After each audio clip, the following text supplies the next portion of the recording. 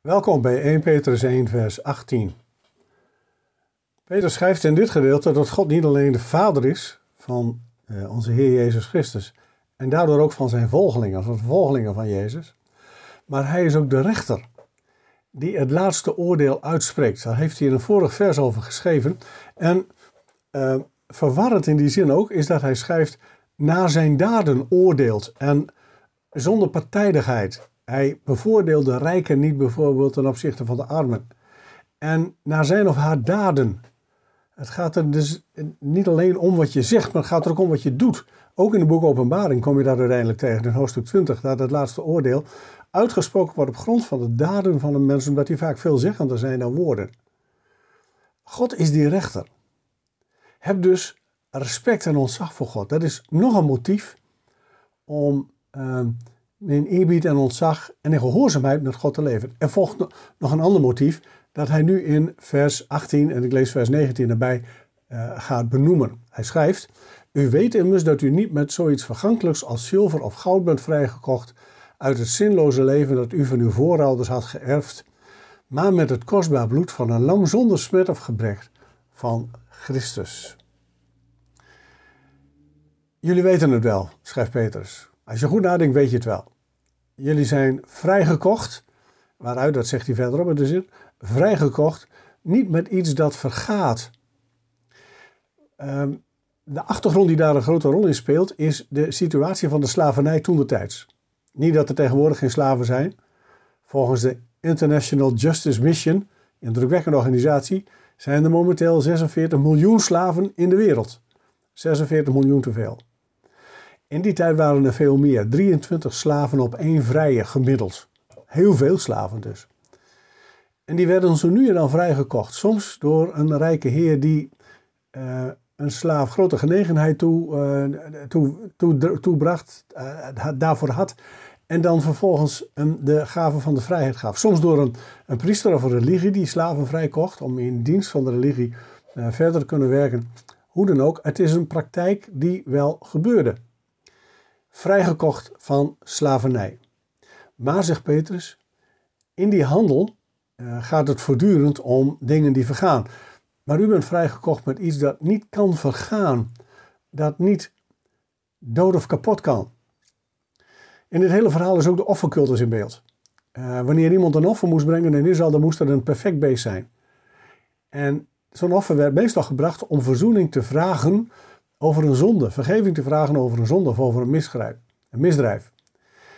Zo'n beest moest perfect zijn. Dat betekent dat het een duur grapje was. Dit merkte je letterlijk in je, de omvang van je rijkdom of armoede. Het moest een volmaakt lam zijn of een volmaakte bok of wat dan ook. En dat is hier voortdurend uh, aan de orde, want de, die vrijkoop die moet gebeuren op een manier die perfect is. Van hun gebruikt de oud-hoogleraar, inmiddels uh, overleden van de Universiteit van Utrecht, waar ik gestudeerd heb, die uh, spreekt hier als voorbeeld over het proselietenoffer. Een proseliet is iemand die heiden is en jood wil worden. En niet-jood is die jood wil worden en de joodse religie, joodse geloof wil aannemen. Er komen een aantal dingen bij kijken. Je moet gedoopt worden, je moet besneden worden. En je moet een offer brengen en het moet volmaakt wezen, beschreven in een deel van de wet van Israël. Maar schrijft Petrus, ook bij dat voorbeeld, alle vrijkoopmiddelen die wij als mensen kunnen inzetten zijn vergankelijk. En ook al doen we het voortdurend, ze zijn allemaal vergankelijk. Ze zijn niet goed genoeg. Ze horen bij deze schepping die vergaat. En zo is het ook bijvoorbeeld met zilver en goud. Dan weet ik wel, dat zijn edele metalen die reageren niet met andere, maar ze zijn wel degelijk aan vergankelijkheid onderhevig. Je kunt ze onder andere oplossen als je een sterk genoeg zuur hanteert.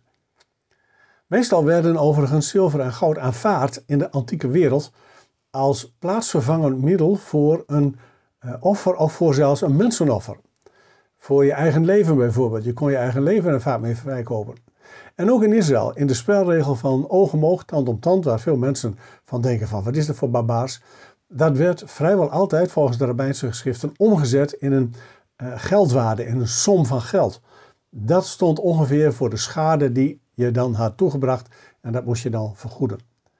Maar ook in dat geval, edelmetaal zoals geld, zoals goud of zilver, is niet geschikt om deze vrijkoop te veroorzaken, want het is vrijkoop uit een heel speciaal soort slavernij. Petrus noemt dat vrijgekocht uit het zinloze leven, uit het lege leven.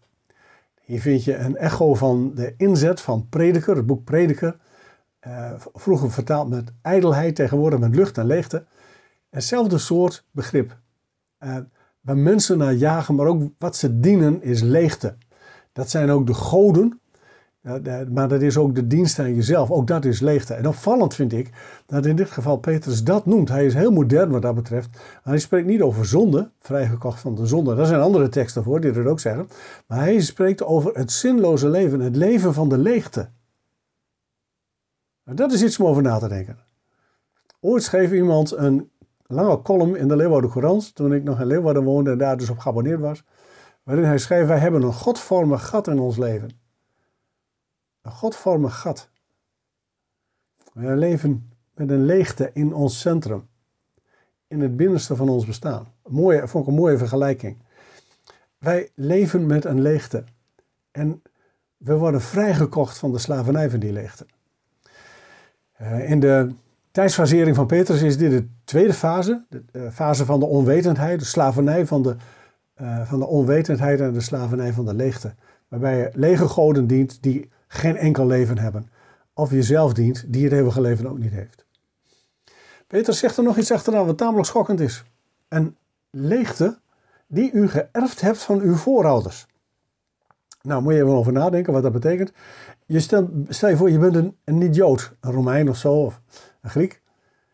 En dan beschrijft Petrus dat wat je gekregen hebt van je voorouders als leegte, als afgodendienst.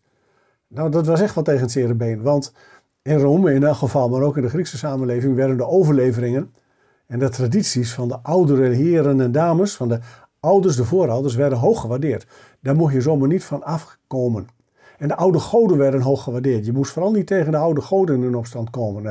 De, hele, uh, er staat een heel artikel van, een heel stuk van beschreven in het boek Handelingen over uh, de stad Efeze die een rebel raakte over de mogelijke aanval van christenen, van het christendom in leerstellige zin op de godin Artemis, Diana, de Diana der Efeziërs. De hele stad der Rebberoer. Je mocht niet tegen de goden in opstand komen, want ze konden wel eens woedend worden. En dan kwam de stad in grote ellende. Dan werd de boel vernietigd eh, enzovoort. Er kwamen er allerlei akelige dingen. Een slavernij van onwetendheid, want ze dienden met elkaar leegte. Niks. Nul. Maar ze dienden het wel en met overgave en met angst. Vrijgekocht uit het zinloze leven, geërfd van uw voorouders. Maar je zult maar een, een Jood zijn in deze tekst horen. Dan denk je toch ook, wacht even, waar gaat dit over?